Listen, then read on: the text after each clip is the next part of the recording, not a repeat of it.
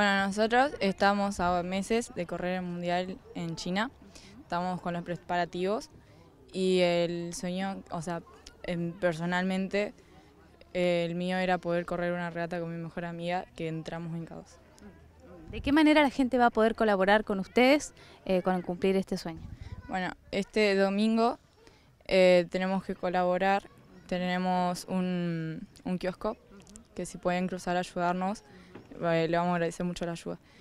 Eh, empezamos a las 5 a vender fita, pero el evento de la noche pues van a tocar los tutores. ¿Qué nos puede decir de este deporte para ustedes, no? Como amigas, individual.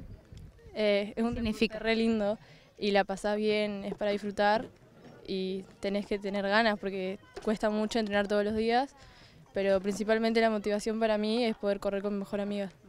Y ahora la gente tiene posibilidad de, de, colaborar con ustedes, ¿no? Este próximo domingo junto con los Totoras, algo de espectáculo, pero también solidario para extender eh, este granito de arena para, para que ustedes puedan cumplir su sueño.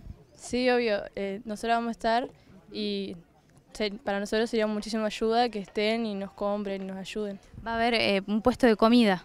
Sí. ¿Cuándo será el viaje, Bautista? Es uh, en octubre, creo que a fines de octubre, no sé bien la fecha todavía. ¿Y en tu caso qué categoría es y tus expectativas cuáles son?